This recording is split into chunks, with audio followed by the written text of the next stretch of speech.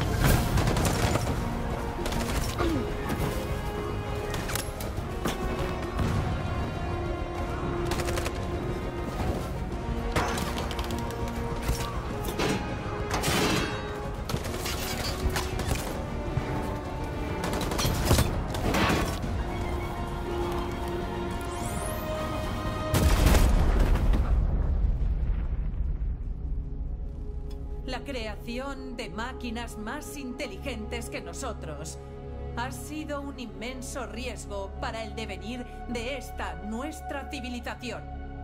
Les informo de que la situación está controlada. Pronto la aniquilación de los androides habrá sido completada.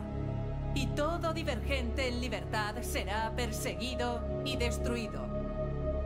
Que Dios os bendiga y bendiga los Estados Unidos de América.